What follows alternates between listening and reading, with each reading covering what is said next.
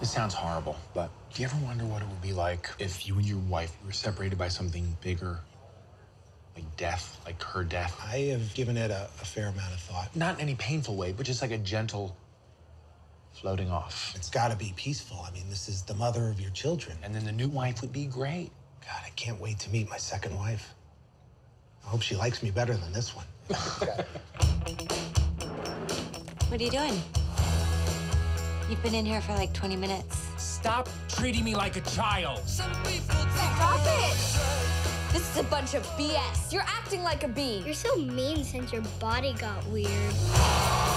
Isn't the music industry kind of a tough game these days?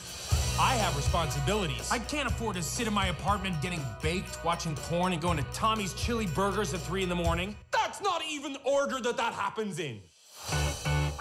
Why does it say 38 and not 40? Because your mom wants to be 38. Let's not mention it again.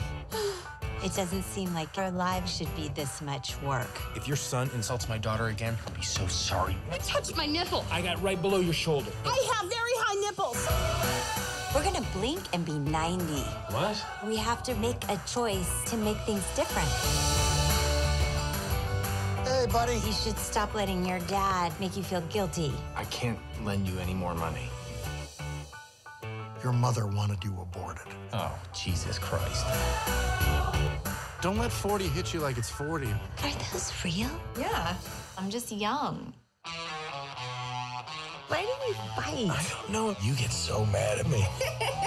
Sometimes I think you want to kill me. I do want to kill you. How would you do it? I would poison your cupcakes that you pretend not to eat every day. I would enjoy our last few months together, but while killing you.